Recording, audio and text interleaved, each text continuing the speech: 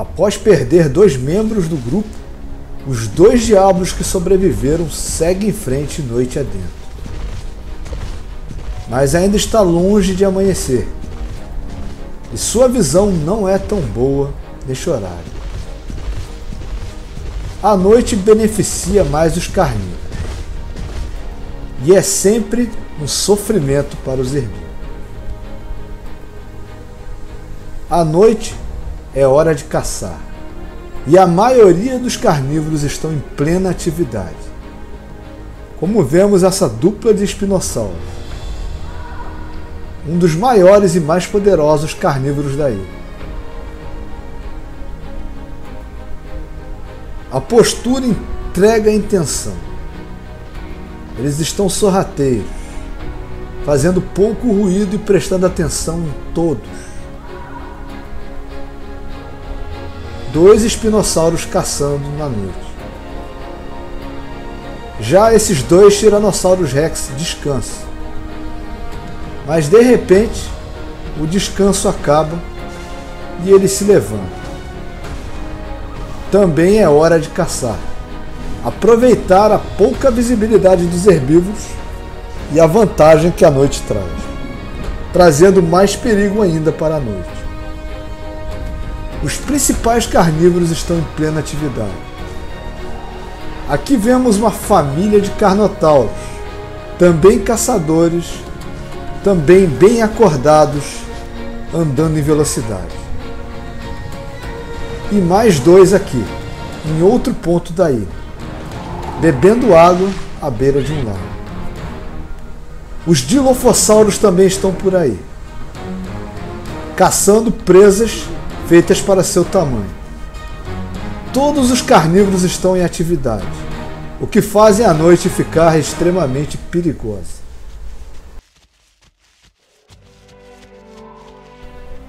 Os dinossauros conseguem enxergar bem de noite, mas aos olhos humanos, somente pequenas nuances de luz.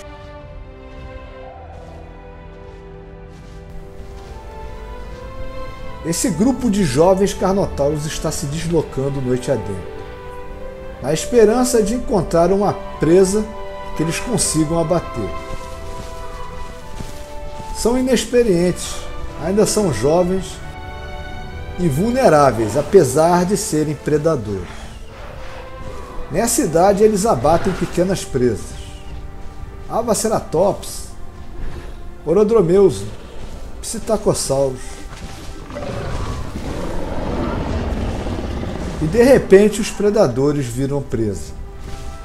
Quando esbarram entre as árvores na dupla de Tiranossauro Rex que acabaram de acordar.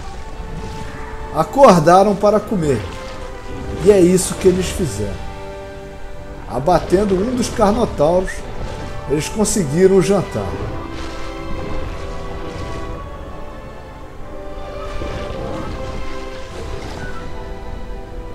E agora eles podem deitar e descansar novamente, pois a noite já está ganha.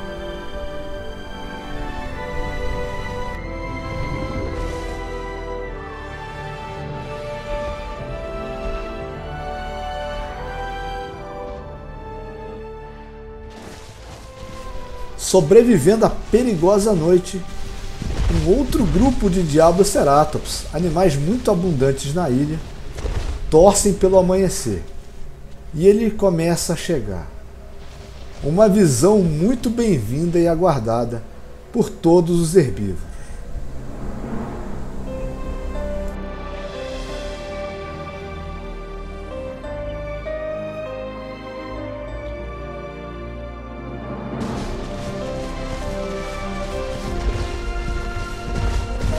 E amanhã traz luz e cor para a vida dos animais que não gostam da noite. Eles conseguem enxergar seus alimentos, as cores das flores e os predadores se aproximando. É uma bênção para esse tipo de animal. E amanhã traz belas cenas. E esse casal de espinossauros bebendo água parece que está dançando.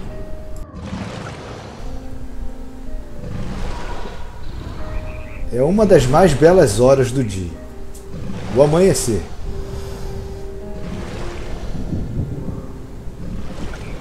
Mais adiante, uma criatura muito inexperiente. Um filhote de carnotauro que deve ter poucos dias de vida. Ele está observando as libélulas voando à sua volta. Bem no meio do rio, distraído e sem saber de quase nada dessa vida. Ele está entregue literalmente à própria sorte. E se tivesse um pouco mais de experiência, não ficaria aí olhando esses insetos quando uma dupla de espinossauros está por perto. Mas o seu sofrimento acaba logo. Uma morte rápida. E isso é a seleção natural, onde os fracos e inexperientes, os que não estão preparados, morrem. E só sobrevivem os fortes. Rapidamente não sobra nada do pequeno Carnotal. Um pouco mais tarde, com o sol já brilhando, uma dupla de dilofossauros se aproveita de uma carcaça no chão. Nem mesmo os grandes predadores têm uma vida tranquila. E esse Tiranossauro Rex morreu antes de atingir a idade adulta. Ele chegou a um bom tamanho mas não chegou ao seu tamanho máximo e sua força máxima. E algo forte o abateu. Nada nessa ilha é desperdiçado. E o que sobrou para alguns dinossauros é muito bem-vindo para outros. E a dupla de dilofossauros agradece a isso.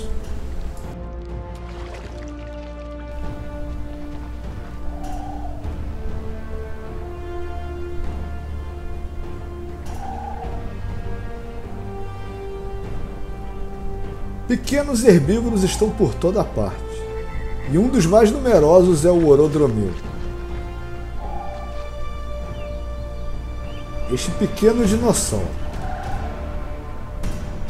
O dilofossauro tem o instinto atiçado, mas como já estava de estômago cheio, desistiu de caçar.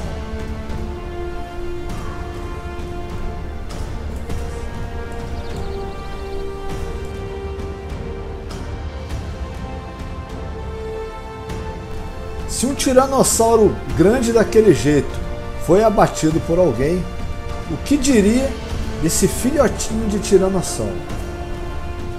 Este é o momento mais vulnerável da vida de um tiranossauro rex. Praticamente qualquer criatura é capaz de abatê-lo. Os tiranossauros rex possuem comportamentos variados. Alguns pais ficam por perto do ninho e acompanham os filhotes enquanto eles crescem. Outros depositam os ovos e se afastam, deixando os filhotes ao relento. A própria sorte. Quando estão entregues à própria sorte, os filhotes têm um índice de mortalidade muito alto. Eles são inexperientes e não tem quem os proteja. A alguns metros de distância, um alossauro está caçando. E ele matará o filhotinho facilmente se encontrá-lo. Mas os seus caminhos se afastam, dando a chance ao filhote de Tiranossauro Rex de tentar crescer e atingir a idade adulta. Mas o próprio Alossauro também não tem a vida fácil. Ele também é jovem, quase filhote, e também está entregue à própria sorte, contando apenas consigo mesmo para sobreviver.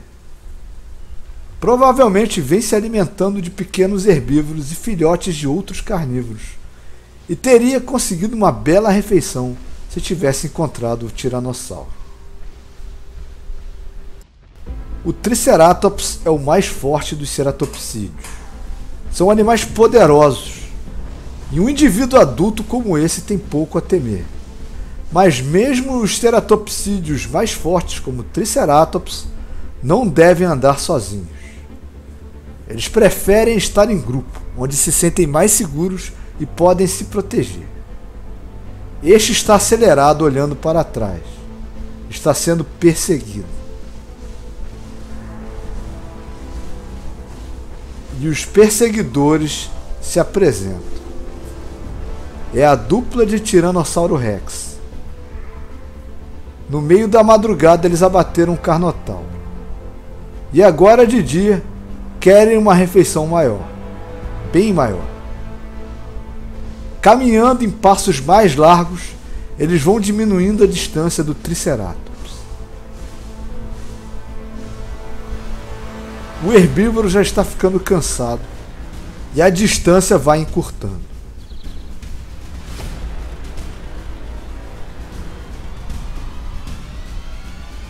Percebendo que não vai conseguir fugir, ele se vira para a luta. Nós acompanhamos os Diabloceratops se defendendo de um ataque de Giganotossauro. Eles são valentes e fortes e lutam até o fim. O que dirá do maior e mais forte dos Ceratopsi? Mesmo cercado pelos dois mais poderosos predadores da ilha, o Triceratops enfrenta, lutando de igual para igual, recebendo mordidas e desferindo chifrados fazendo os carnívoros sangrarem e sangrando também. O gramado fica vermelho. E os tiranossauros rex se afastam para recuperar o fôlego e recuperar as energias para continuar o ataque. Um animal tão poderoso que consegue enfrentar na desvantagem de 2 para 1, um, quase de igual para igual, dando trabalho aos enormes predadores. A flor mais comum da ilha é essa flor vermelha e se chama flor de sangue.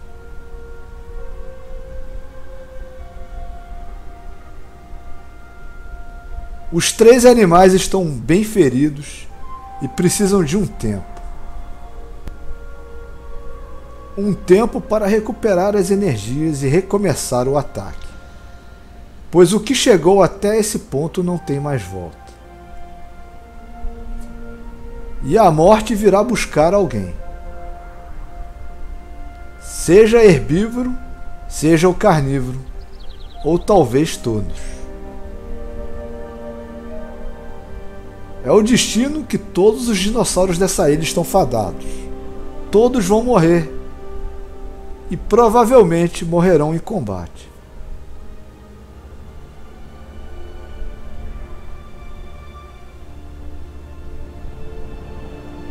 Ao redor não existe nenhum outro ceratopsídeo para ajudar. Este aqui está completamente só. E os Tiranossauros Rex decidem que chegou a hora de terminar isso. Percebendo que sua situação é difícil, só lhe resta se defender e tentar um milagre.